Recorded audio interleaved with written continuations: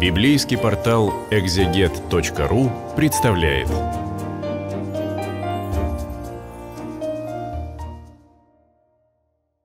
Здравствуйте. Это видео для библейского портала экзегет.ру, и мы обратимся сейчас к первой главе книги Исхода. Первая глава начинается словами «Вот имена Велешемот», как называется эта книга в иудейской традиции по первым словам. Вот имена тех, кто э, вошли в Египет э, с Иаковым, отцом их. И автор приводит здесь имена, названия 12 колен Израилевых. Это важная достаточно вещь, потому что дальнейший рассказ будет о том, Э, как от этих людей, вошедших в Египет, названных по именам, происходит народ Божий. Что это за люди и что э, в их истории общего, потому что предполагается, что именно эта общая история, вот она делает этот народ единым, вместе с э, друг с другом, заключающим завет с Богом. Э, Прежде в бытии было написано о том, что вот во времена Иосифа э, иудеи, евреи занимали э, ну не то чтобы привилегированное, но достаточно свободное положение в Египте, э, считались полезными членами общества, пользовались иной раз какими-то привилегиями, связанными с Иосифом, с тем, что хотя бы некоторые из них были приближенными фараона. Ну, в общем, вот такую вот вели, как рассказывает нам бытие, ну, относительно безбедное существование, не вовсе не такое безбедное, но тем не менее, да, они сбежали в Египет от э, голода и там как-то прижились. У них был, была какая-то сфера деятельности, работа, которую они работали, э, служили в войсках. Вот эти самые Аперу, эм, название от которого, вероятно, происходит слово э, евреи. Э, вот они жили не совсем в перемешку, но все-таки рядом с египтянами. И сыны Израилевы расплодились, размножились, возросли, усилились, и наполнилась ими земля та. Не то чтобы прямо уж в самом деле наполнилась. А, не будем забывать, что Египет, вообще говоря, пустыня большей частью, а, кроме долины Нила. Тем не менее, да, вот стало там израильтян достаточно много, после чего автор сообщает нам, что восстал в Египте новый царь, который не знал Иосифа. Ну, исследователи чаще думают, что это э, все же фараон Мернептах имеется в виду, но никаких оснований всерьез утверждать это у нас нету.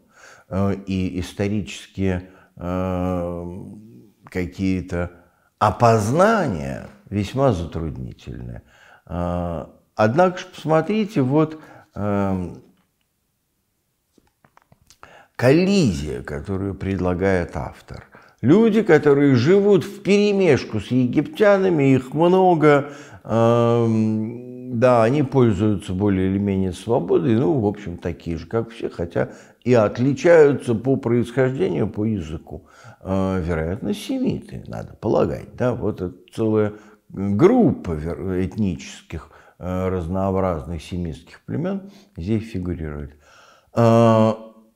Э, и фараон, новый фараон, э, который боится и говорит, вот народ сынов Израилевых многочисленный сильнее нас, перехитрим его, чтобы он не размножался – ну, допустим, у фараона есть некие основания, потому что, да, там народ гексосов, который властвовал в Египте продолжительное время, э, ну, тоже, в общем, мог э, размножиться, стать многочисленные египтяне представлять опасность.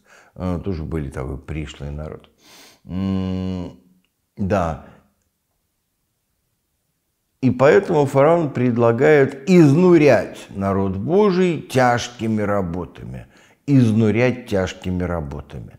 Во-первых, мы наблюдаем с вами э, попытку геноцида, попытку окончательного решения еврейского вопроса, э, сделанную там порядка 33-34 веков тому назад.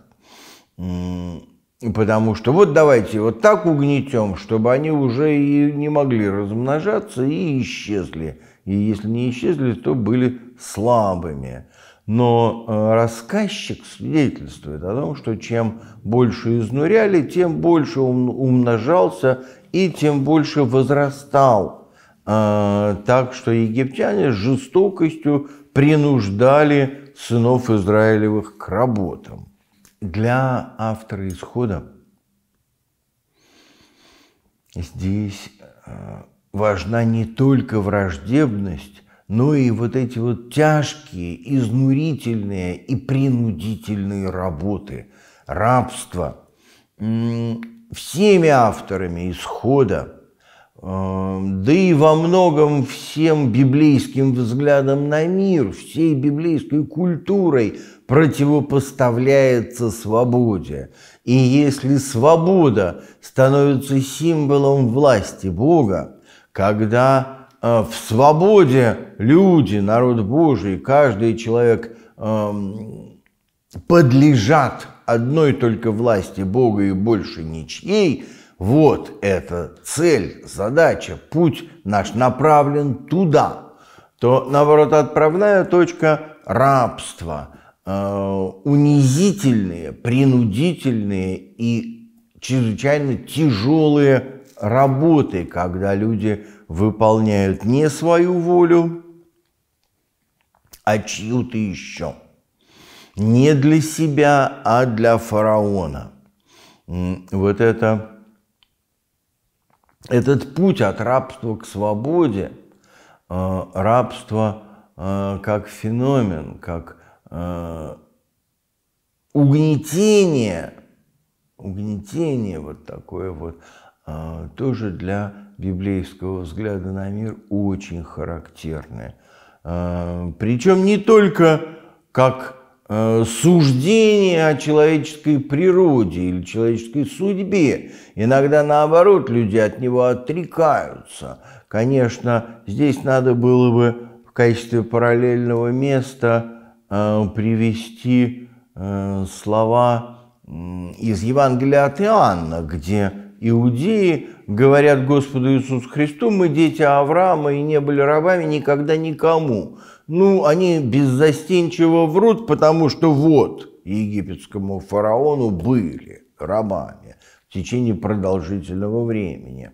Вот это, еще раз скажем, отправная точка, которую фарисеи не готовы признать, а Христос, а, когда говорит о том, что познайте истину, и истина сделает вас свободными, вот он имеет в виду рабство как символ полной противоположности свободы. Для иудеев эпохи исхода и для иудеев послепленного или поздней пленной э, эпохи, послепленной, э, вот этот символ в общем звучит э, примерно одинаково актуально, потому что плен – это тоже такое рабство,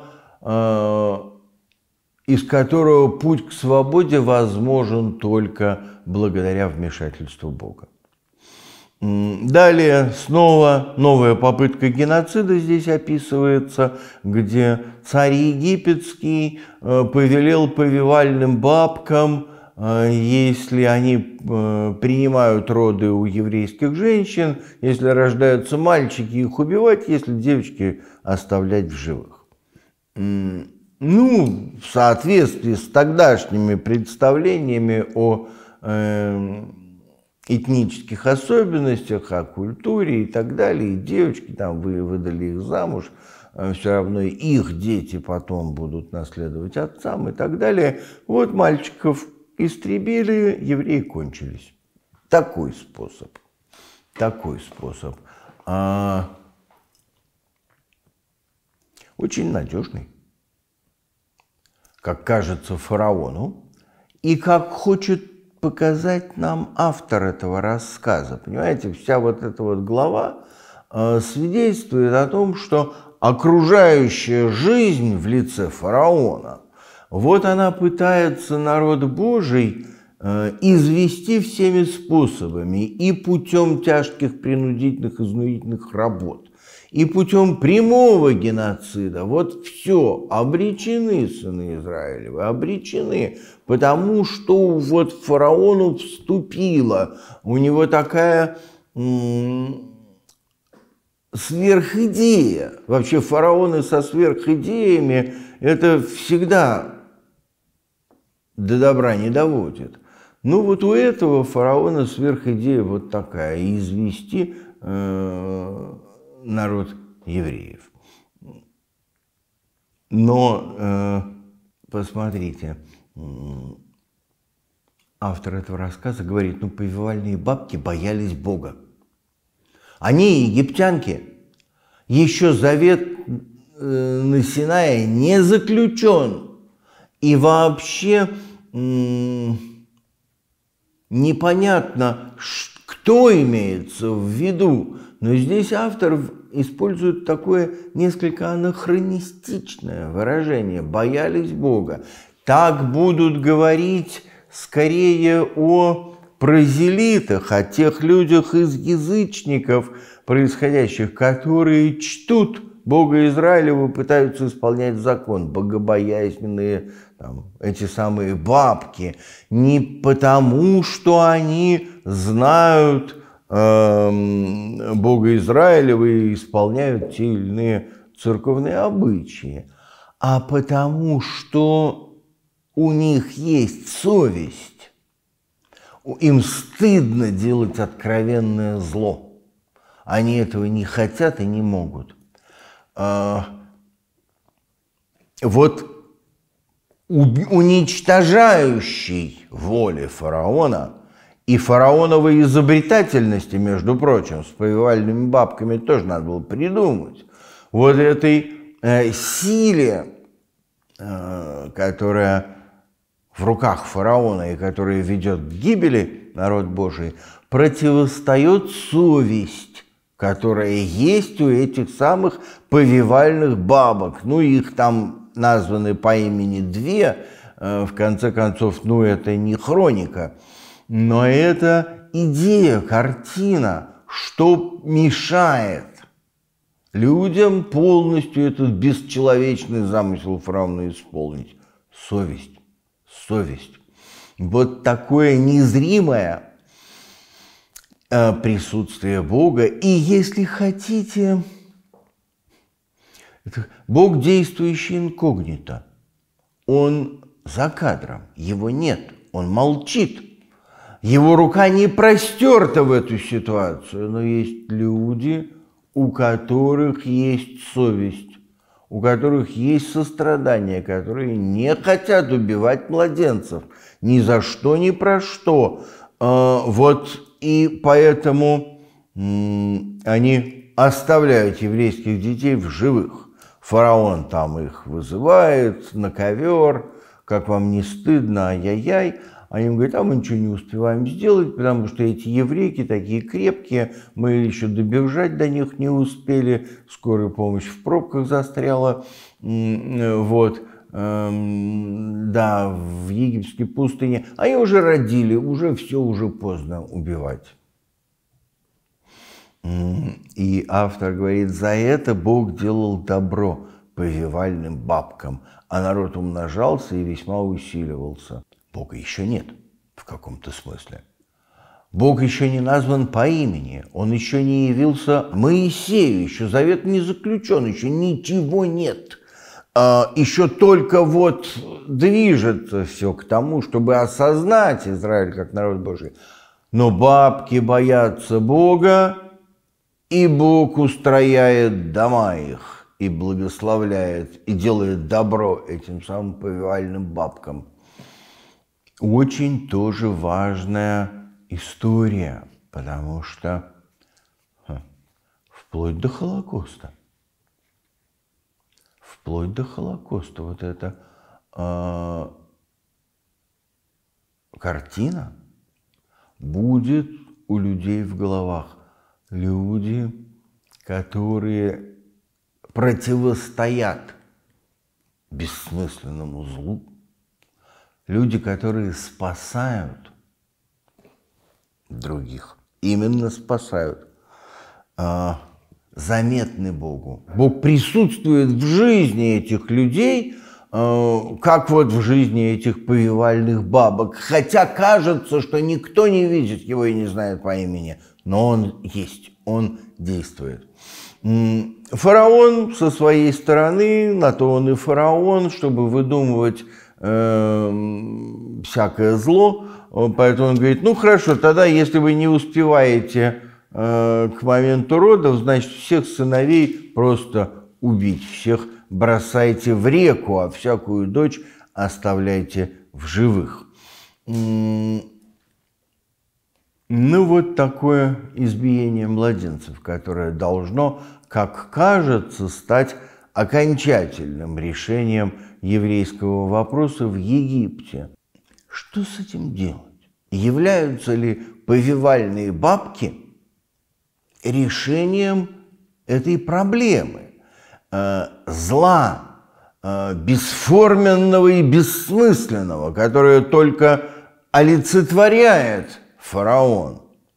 Да, вот, вот стремление уничтожить людей, а, вот можно ли с этим что-то сделать? Э, потому что очевидно, что попытка бабок повивальных, прекрасная попытка, все равно не приводит к решению проблемы зла. Э, потому что, ну вот, фараон придумывает просто убивать всех Э, детей, всех мальчиков. Как Бог будет или может, сочтет нужным решать эту проблему. Потому что по-человечески многое можно придумать. Можно предложить Богу откусить фараону голову. Можно предложить Богу, не знаю, экономический кризис в фараоновой державе, чтобы они перестали экспортировать пшеницу и э, там мыши вы их сожрали, еще что-нибудь, много чего. Вот как бы идеи здесь можно предложить кучу, а для автора важно, чтобы мы увидели, как будет в этой ситуации действовать Бог.